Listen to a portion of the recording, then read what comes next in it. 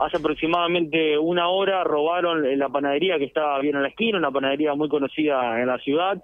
Eh, un hombre ingresó armado, eh, bueno, le, apuntó a la, empleada de la panadería, la golpeó, eh, le robó el celular a esta empleada eh, y tras los gritos y, toda la situación comenzó a correr y bueno y algunos vecinos pudieron lo, redujeron al ladrón eh, lo tumbaron y bueno hasta la llegada de, la policía los mismos vecinos de aquí de la zona detuvieron a, este delincuente. Y le vamos a agradecer a Mariano uno de los vecinos que estaba justo aquí por la zona eh, de, la situación. Mariano bueno explíquenos un poco lo, que pasó no y también nada felicitaciones por, por, las agallas no que tuvieron. Sí no sé si felicitaciones en realidad a, ver, se escuchó, yo estaba justo cerca en la puerta, se escucha que sale gritando la chica de la panadería, pasa corriendo el pibe este, eh, y atrás lo vienen corriendo otros dos. Y me sumé a, correrlo nomás porque parecía que se les escapaba.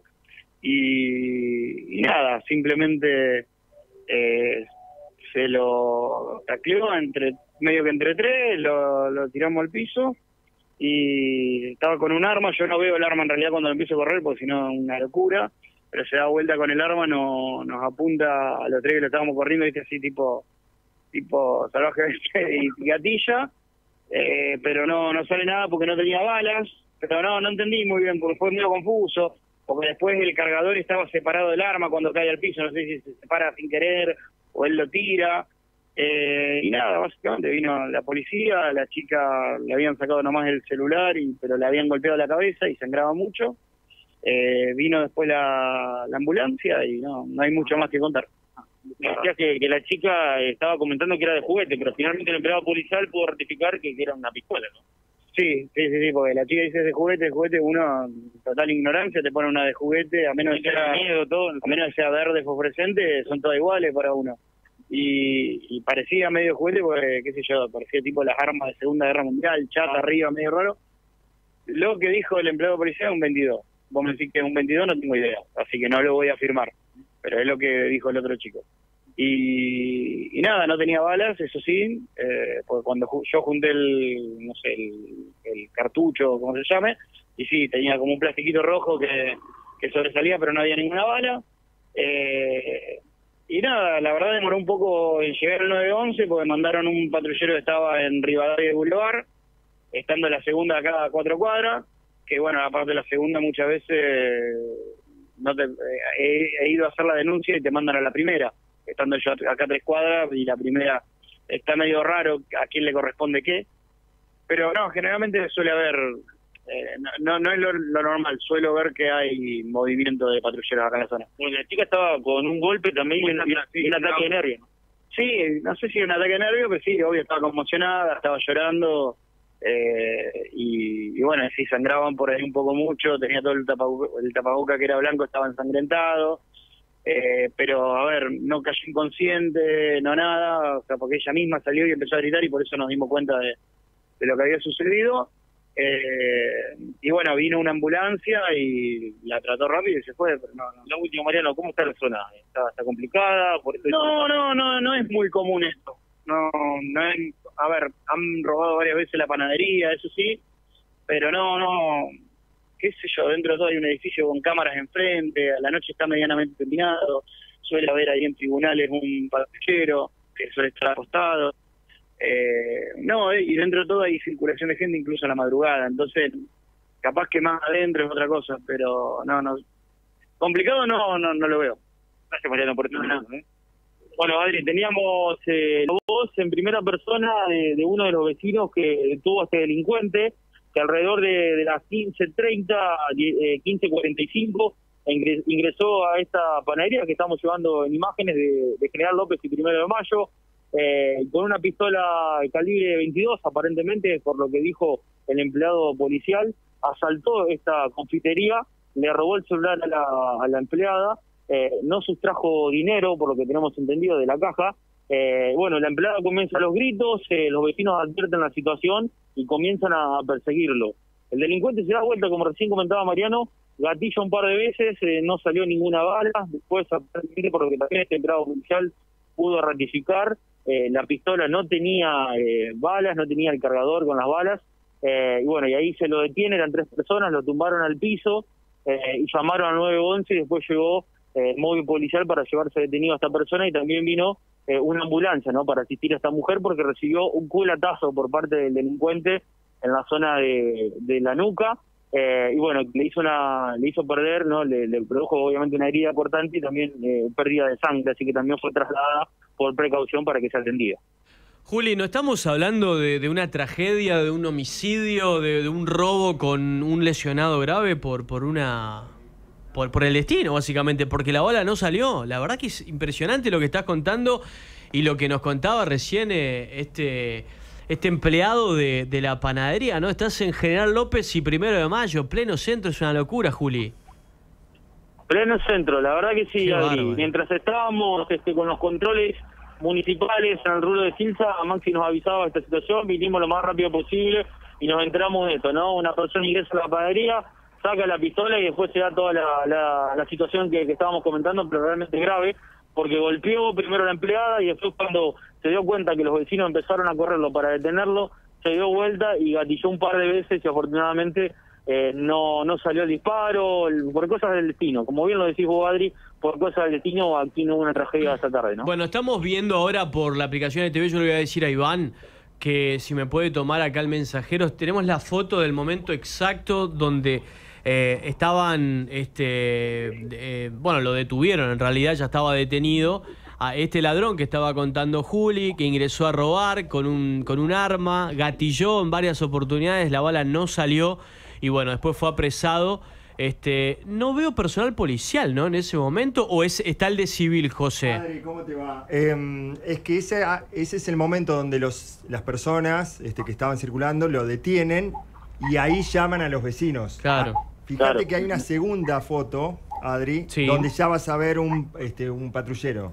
O una, motocicleta. Ahí, ahí llega la motorizada. Esta foto que estamos mostrando ahora por la aplicación Aire TV, también por la señal 8 de Telecable Rincón, este, estamos mostrando justamente el momento donde se puede observar la, una policía, este, en realidad una moto de la, de la policía, que llegó en ese momento y ahí sí ya este, se ve cómo, cómo está, está detenido esta, este malviviente, ¿no? La verdad que, Luciana, no hay horario, no hay lugar, ya no, no pero ese lugar nada, ¿no? es que es Avenida General López. General López y es el edificio que terminaron de construir, que están terminando de construir ahora.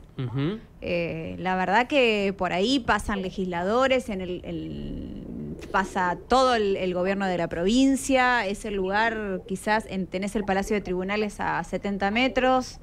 Em, eh, es, el juzgado federal a la vuelta. La verdad que es uno de los lugares que debería estar eh, más custodiados o donde hay más presencia policial, porque tenés el edificio de tribunales que eh, yo pasé hace 20 minutos y había policías que entraban y salían, había audiencias.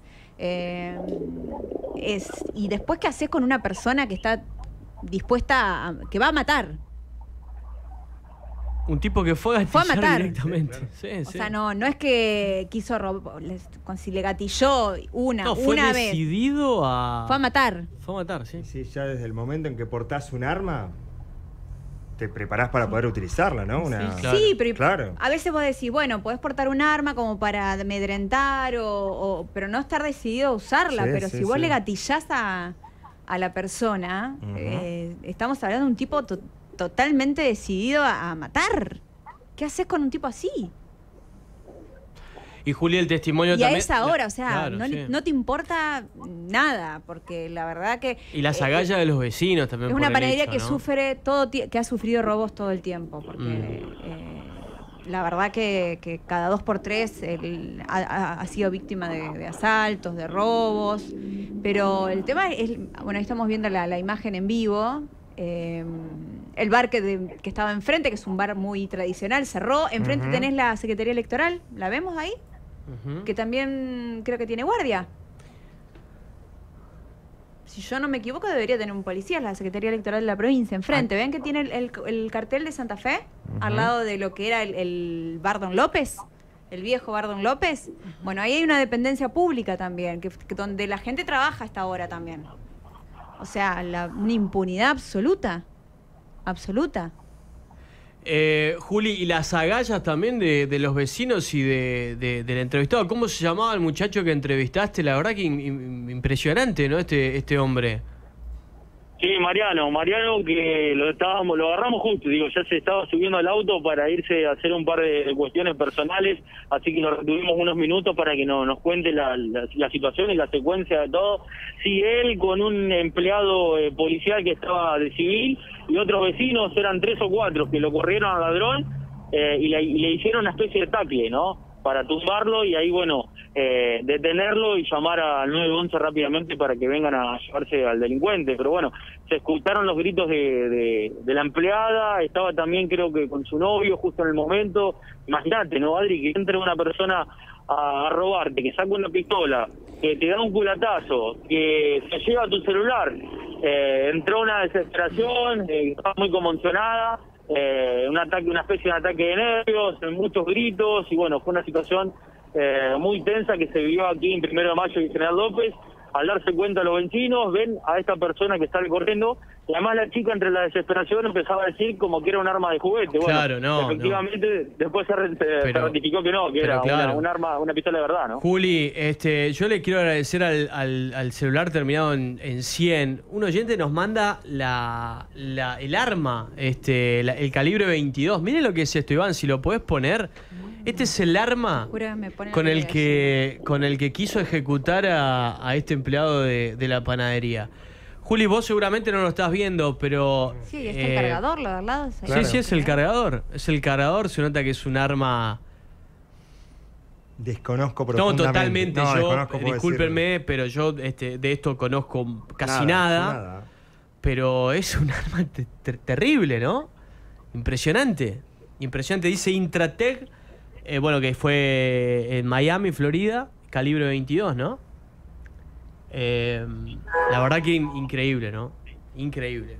Mirá con lo que andan estos tipos, ¿no? Después tengo otras fotos también que no, no la pongas, Iván, pero está, está, se ve claramente como lo reducen. Está la cara de, del delincuente. Y bueno, como los vecinos lo toman, uno lo pisa del cuello y otro lo, lo toma del brazo. Este, creo que no, no, no debemos mostrar, ¿no? José, la, la foto de, se ve, pero no se ven los rostros o sí. No, hay una que la ah, tengo acá. Sí, no, bueno, entonces no, por cualquier cosa. Muy de, muy, muy de cerca. Muy de cerca, no, bueno, dejar ahí. Y nos manda el oyente mismo, esto sí lo puedes mostrar, Iván, que tenía una sube, bueno, un, Ajá un este claro lo que le incautaron lo que le incautaron sí una sube y un paquetito ese paquetito un paquetito no con algo blanco, dentro del Bastante, ¿eh? sí es mucho no eh, bueno la verdad que yo le quiero agradecer muchísimo al al este al oyente. Bueno dice justo pasábamos por ahí este porque eh, venía de, de correr me dice. Eh, yo y un vecino, dice acá el oyente, teníamos mi hija que, sacaba fotos del momento en el cual, bueno, la verdad es un automático, dice acá otro oyente que este sí conoce más viendo, Claro, estaba viendo, es distinto mm, eh, la punta de la pistola. Mm, el calibre 22 es mucho mm. y, Ahí parecía como que tuviera una, especie de agregado. Esto me parece que es la más parecida, ¿no? Claro. Eh, porque después buscas calibre 22, la pistola estándar y, tiene, ¿ves? Es la que más, es la más Claro, pero es un automático esto, o sea que. No, es, es, tremendo, es increíble, es increíble. La verdad, esto. ¿A qué hora, Juli, sucedió esto? Esto hace, hace algunas horas simplemente, ¿no? ¿O minutos?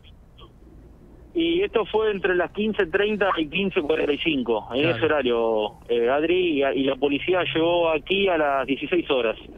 Eh, entre el aviso, entre este patrullero que estaba en Boulevard Redavia y demás, a las 16 horas en punto llegó acá y el hecho fue 15.30, 15.45, así que varios minutos los vecinos tuvieron a este delincuente eh, tendido en la calle y obviamente ahí contra contra lo que es la cinta asfáltica y bueno, todos los vecinos resguardando para que no se escape, ¿no? Bueno, Julián, este, gracias, ¿eh? Por suerte no, no estás informando otra, de otra manera, ¿no? Por suerte no, no tenés que estar saliendo al Cuyen, la verdad que por cuestiones del destino. Como, como dijo el, el ministro Zain, ¿no? Este, Santa Fe tiene un dios aparte. Dios aparte. Eh, volvió a nacer. Sí, sí, claramente. Este muchacho volvió a nacer, totalmente, totalmente. Eh, abrazo grande, Juli, volvemos. Dale, Adri, un abrazo grande. Julián Brochero desde el móvil de la radio. Nosotros pasamos tres minutitos de las 5 de la tarde, vamos al boletín y, regresamos ya para, para, dar comienzo definitivamente a este Pasan Cosas que como todos los días de lunes a viernes estamos hasta las 20. Cada tarde en Aire de Santa Fe.